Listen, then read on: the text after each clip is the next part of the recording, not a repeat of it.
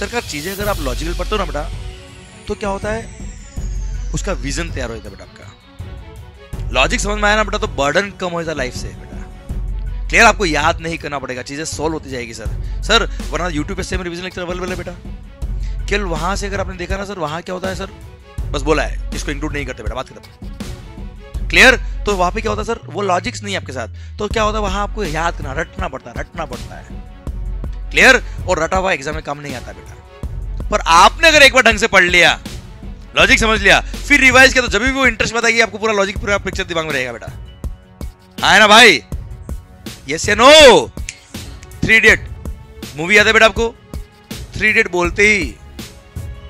Sir आपको बहुत सारी चीज़ें अपना याद आ गई, बच्चे।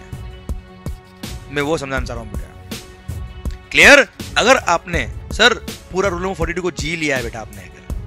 इमेजिन कर लिया, समझ लिया उसको। तो जब भी रूल फोर्टी में सर कोई भी पॉइंट की बात आएगी ना, वो अपने आप याद आएगा बेटा। क्लियर बस यही फ़र्क होता है 40 45 मार्क्स में और 75 70 80 मार्क्स में 80 90 मार्क्स में बेटा। क्लियर यही यही डिफरेंस ले आता है बेटा। पढ़ा सबने, सर। पर अगर आपने लॉजिक के साथ पढ़ा ना, सर तो ये वहाँ पे एग्ज़ाम के अंदर क्या होता है? आपको घुमा फिरा के आंसर नहीं लिखना पड़ेगा, सर।